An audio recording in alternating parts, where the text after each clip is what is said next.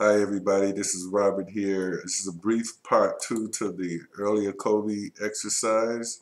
So here we want to look at BIM interoperability tools and we're going to decide, say, we want to add parameters to this, which is what's really happened here what's most important.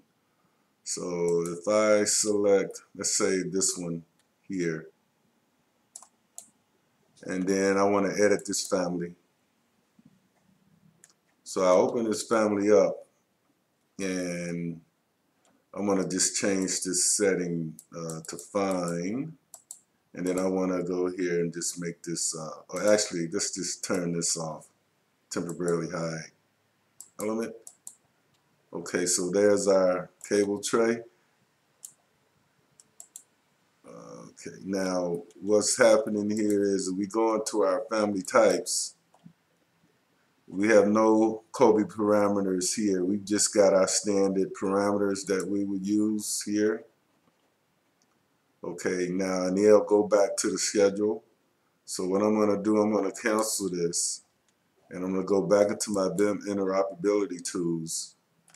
And uh, I'll select family setup here. Now here in the family setup, these are the different categories that it'll give us. The different fields we can add, just like before, we can add fields and take fields away. And then uh, just go select next. And then we'll just update and close.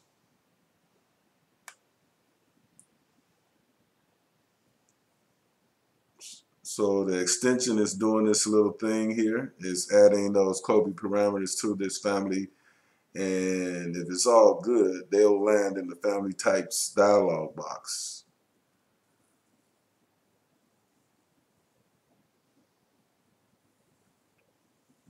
Now, quite slow here, sorry about that.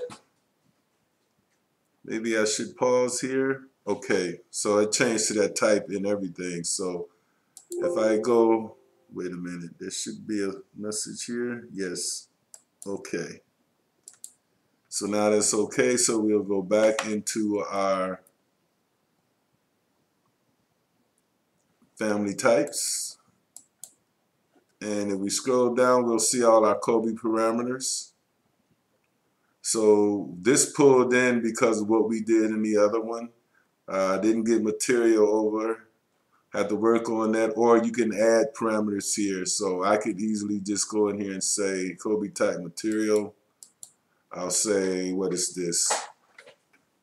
This is hot dip galvanized. Just going to control C that. We want to work around this for the moment, but I'll, I can map this one in. Control V. Apply. Okay. And you can load that into the project. Override existing version and its parameter values.